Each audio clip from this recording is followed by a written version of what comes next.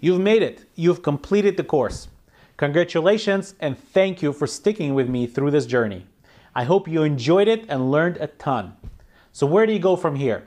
If I may suggest the next course in this specialization, which is single page web applications with AngularJS.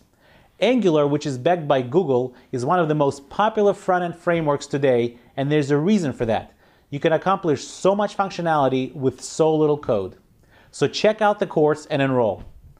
The entire Johns Hopkins team worked very hard to produce this course and deliver it to you in the best way possible.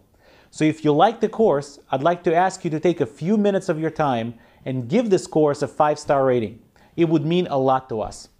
Finally, keep in touch. Follow me on Twitter, connect on LinkedIn, and join a special Facebook page we created just for the front-end courses of this specialization. The links to all of these things are below this video. Thank you for watching and all the best to you.